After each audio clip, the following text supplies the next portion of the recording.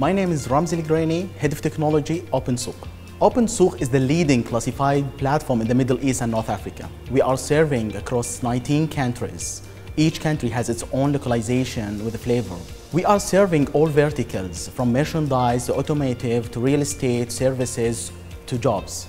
Every month, millions of people in local market generate more than 1.3 billion page views per month. Over 90% of engagement comes from mobile, so we are mobile first. Imagine that in 2017, $21 billion gross merchandise value was sold in OpenSooq. And every 15 seconds, there is something sold in OpenSooq. On average, our active users spend 2.2 hours on our app, so our app is very sticky and engaging.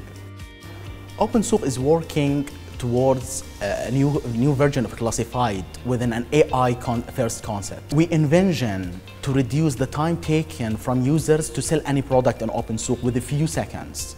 So we are building machine learning for image recognition to recognize the images. We are building the machine learning to recognize the text to put it in the correct category. And also we integrate the machine learning and integrate the user click-throughs to, to put it inside the search, so to build the personalization for uh, our users. So AWS provide us an optimized uh, TensorFlow on EC2 that help us to train faster than the stock TensorFlow with seven times. AWS team did a great job last year. They helped us to migrate from another CDN provider to CloudFront and reduce the cost with me 70% without any impact on performance.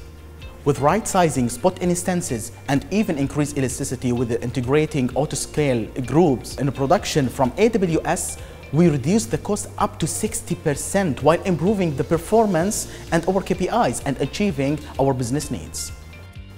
Behind our growth, there is a big infrastructure powered by AWS. AWS helps us to go to the next level.